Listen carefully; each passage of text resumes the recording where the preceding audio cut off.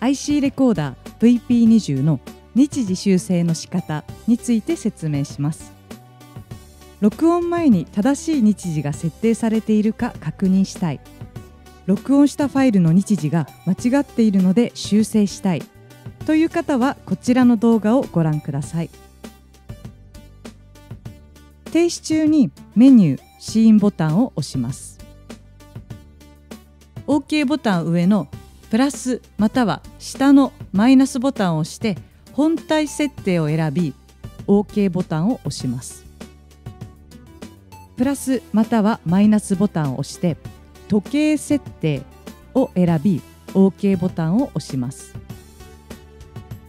OK ボタン横の右または左ボタンを押して修正したい日時を選びます。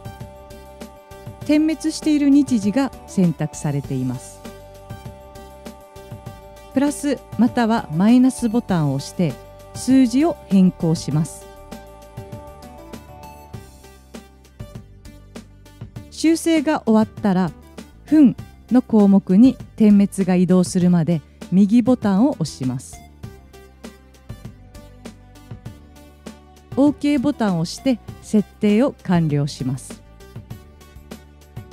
プレイストップボタンを押してメニュー画面を終了します。